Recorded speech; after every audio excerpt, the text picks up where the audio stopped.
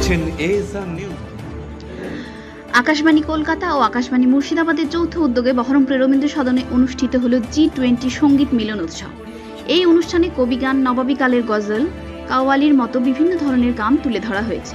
এই অনুষ্ঠানের কর্ণধার বিজয় কুমার ঝা বলেন, এই সংগীত উৎসবের মূল মন্ত্র হল বাসুদেব কুটুম্বাকম, অর্থাৎ সারা বসুন্ধরায় আমার কুটুম বা আত্মীয় এক পৃথিবী এক ভবিষ্যৎ এক পরিবার। এই ভাবনাটা সারা পৃথিবীতে ছড়িয়ে দেওয়াই ছিল এই সংগীত মিলন উৎসবের মূল উদ্দেশ্য।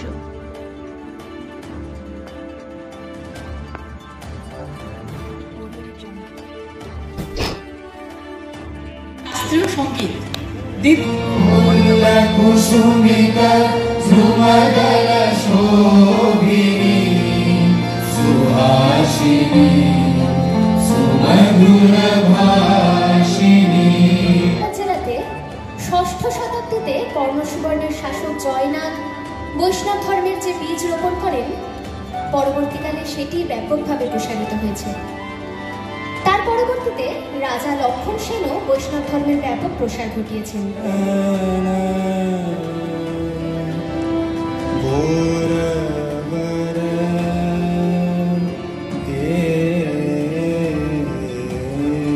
গৌর এই হরিনাম সে বাঙালি, সে ভারতে।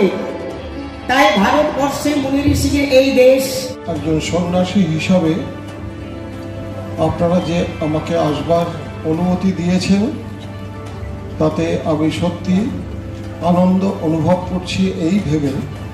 রামকৃষ্ণ মিশনের সব থেকে পুরনো আশ্রমের একজন আশ্রম কর্মী হিসাবে আপনাদের কাছে কিছু সংবাদ রেখে যেতে চাই। সেই সুযোগটা পেয়ে একশো পঁচিশ বছর আগে আঠারোশো সাতানব্বই সালে যখন স্বামীজি ফিরেছিলেন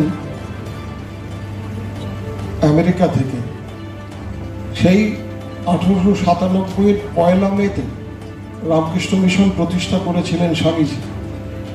যখন ফিরেছিলেন, তার আগে, তার চার বছর আগে যে গৌরবময় বাণী ভারতবর্ষ থেকে তিনি নিয়ে গেছিলেন আজকে ভারতবর্ষ বলতে দ্বিধা নেই।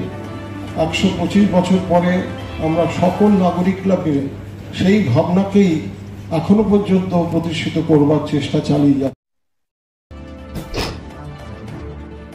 খুব গর্বিত যে মুর্শিদাবাদের বহরমপুর যেটা সদর শহর, সেখানকার যে সব থেকে ঐতিহ্যপূর্ণ জায়গা রবীন্দ্র সদন সেখানে জি টোয়েন্টি ব্যানারের আন্ডারে আমরা একটা সংগীত মিলন অনুষ্ঠান আয়োজন করেছি এবং এইখানে আকাশবাণী কলকাতা এবং আকাশবাণী মুর্শিদাবাদ তাদের একটা যৌথ উদ্যোগে এখানে যে অনুষ্ঠানটা করা হচ্ছে সেখানে আমরা চেষ্টা করেছি যে সংগীত মানে যে শুধুমাত্র মানে ছায়াছবির গান বা মুম্বাইতে যারা গান করে তাই নয়, সংগীত মানে হচ্ছে আমাদের মাটির গান।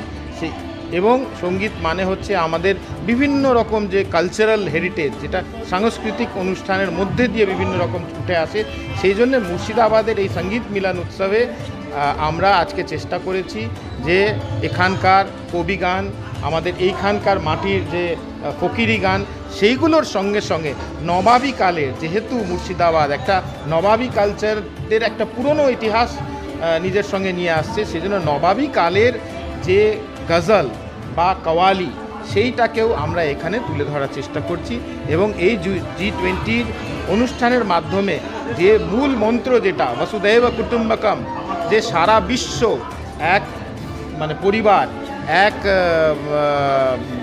ভবিষ্যৎ আমাদের এবং একটা পৃথিবী, তার মানে এক পৃথিবী, এক পরিবার, এক ভবিষ্যৎ। এই যে লক্ষ্য বসুধৈব কুটুম্বকাম সারা বিশ্ব আমার কুটুম্ব, সারা বসুধা আমার কুটুম্ব, এই ভাবনাটাকেই আমরা ভারতবর্ষের বুক থেকে জি টোয়েন্টির মাধ্যমে সারা পৃথিবীর লোকের জন্য সারা পৃথিবীর শান্তির জন্য সারা পৃথিবীর কল্যাণের জন্য এবং সারা পৃথিবীর অর্থনৈতিক উন্নতির জন্য আমরা এগিয়ে নিয়ে যেতে চলেছি। এই জি টোয়েন্টির মাধ্যমে মানুষকে বন্ধনে বেঁধে আমরা এগিয়ে নিয়ে যেতে চলেছি। আমার